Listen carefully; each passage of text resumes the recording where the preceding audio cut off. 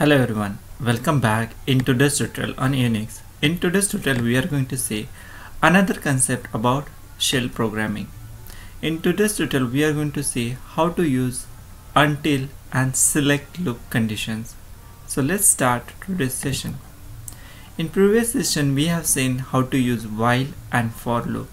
These are the type of loops we have already seen. The rest two types of the loop such as until and select we are going to see in today's session. Until loop. The while loop is perfect for a situation where we need to execute a set of commands while some condition is true. So this is kind of scenario where in your you have to implement logic where after certain condition is true you have to execute some logic in that case while loop is appropriate but in some cases we don't need to execute a set of command until a condition is true means you have to check that condition at the end. So at least first loop has to be executed. So in that case we can use the until command. So until command then we have to use the do then the the logic which we want to execute and then end it with the done co command. Example here is hash bang bin sh.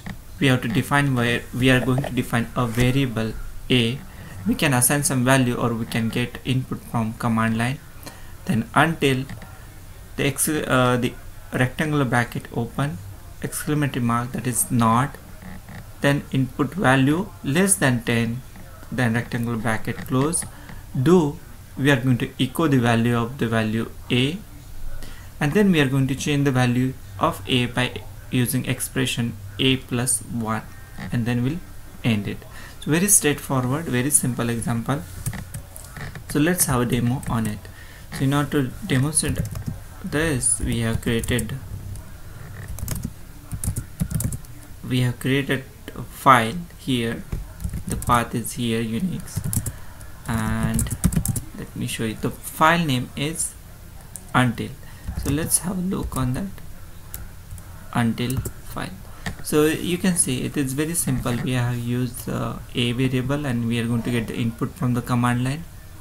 Then until uh, command here we are just checking the condition whether the input variable is less than 10 if yes then print that and then increase the value by 1 and then loop this iteration until the value of variable a is less than 10 in order to execute this we can use sh until and you can see.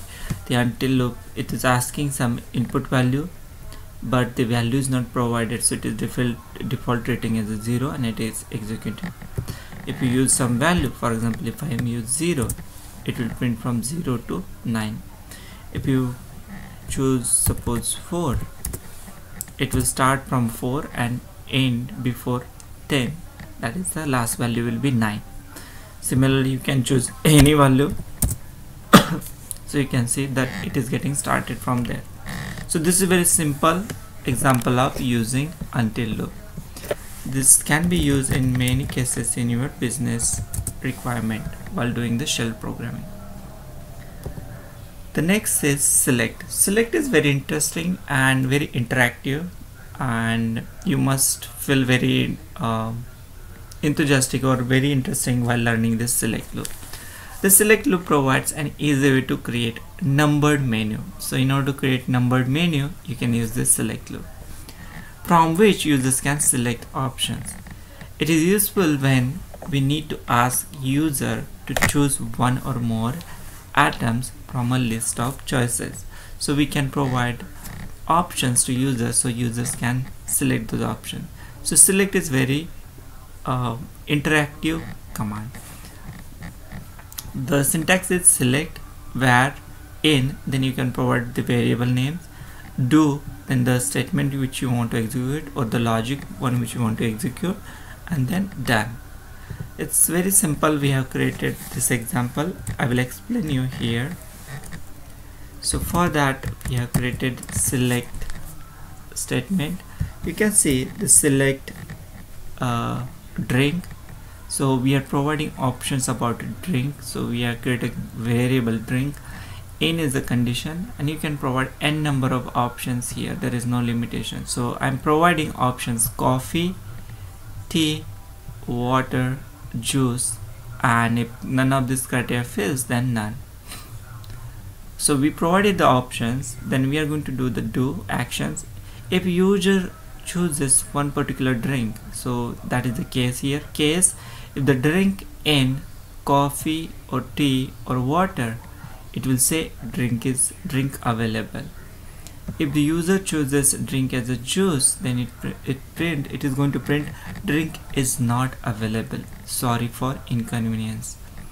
If user chooses none then it will just break the loop and it will come out and nothing will happen but user chooses any other any other option which is not present in this list then it will give us error saying that error invalid option choose correct option and then it will execute by it will exit the loop by esac command and then we are completing the command with the done. So we started with the do and completed with the done. The case starts here and the ends at esac so these are the very very simple logic we implemented. You can implement any anything in between this line. So let's execute this. So in order to execute? You have to use sh and enter. So you can see what are the option we have provided in the course. It is getting numbered. So first option is coffee second is tea third is water fourth is juice and fifth is none. Now you can see that number and question mark. So user has to provide this number. Suppose if I user provide number one it will print drink available. If user provide three water that is drink available. Now suppose if you provide option 4 which is juice it should print drink is not available. And it is correctly printing. Drink is not available. Sorry for inconvenience now user says okay I got the list but I don't want to choose any of this option. That is none. It got 5 and nothing will happen. Now suppose user by mistake print any other number like suppose 6 or 7 it will say uh, sorry uh, it, it, it just executed uh, exited. So we have to run again.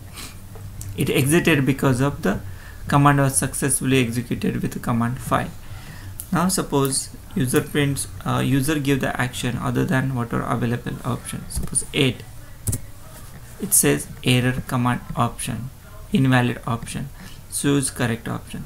So by this way we can uh, interactively implement the logic in shell command so that user can provide the input from his end.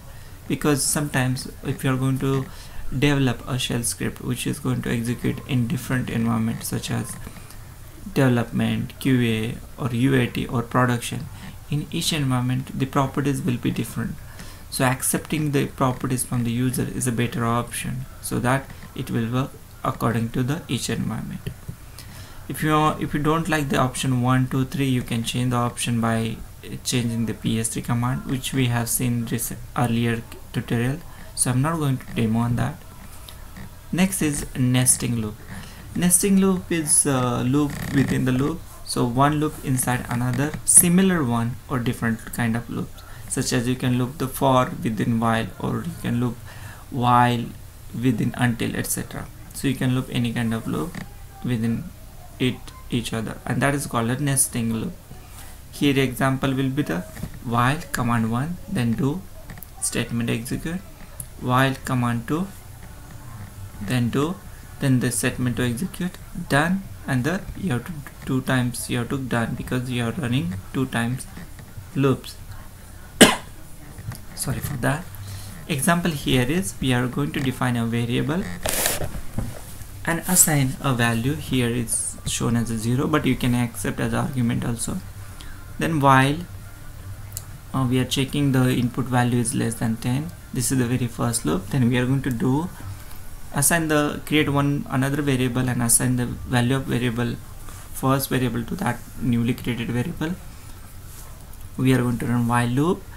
And in the while loop we are going to check the newly created variable is greater than 0 sorry for this. Then this is this will create a second loop. Then execute do.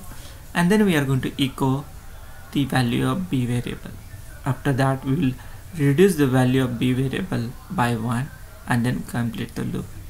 Then we'll do echo and then we'll increase the value of variable a with plus 1 value. So same thing we have written in the demo. So let's have a demo on that. In order to exit you have to use the control C. So I just exited.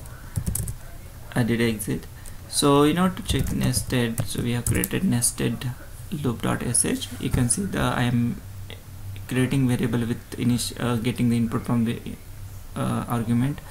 Then doing the first loop second loop printing the value of b here then reducing the value then done for the first done first do. Then echo just to go to the next line. Then changing the value of variable a with increasing by 1 so let's execute and see what happened so in order to execute you have to provide some value because if you don't provide a value you will get unary unary operator expected. So you have to provide some variable. So if you provide 0 you can see how the numbers are getting printed by using first loop and the second loop. You can provide 3 also. That's it will start from 3 if you provide 4 will start from 4 if you provide suppose more than 10 what will happen? I'm providing 30 nothing will happen because the first loop itself will not satisfy. But if you provide suppose 8 it will start from the 8 so the, by this way you can print the variables or the values as per your need. So if you want to provide some negative value let's say if you're providing negative value it start with 0 suppose if you start with negative 10 it will just print the lines because we have the echo statement. And it will start from the 0 because the second loop start with the from the 0 that is the reason. I hope this tutorial is going to help you to create um, your business logic using until and select loop. If you have any questions or queries about Unix then you can mention in the comment section of this video. Thank you again for watching my video. If you like my video do not forget to subscribe my channel. Thank you and have a nice time.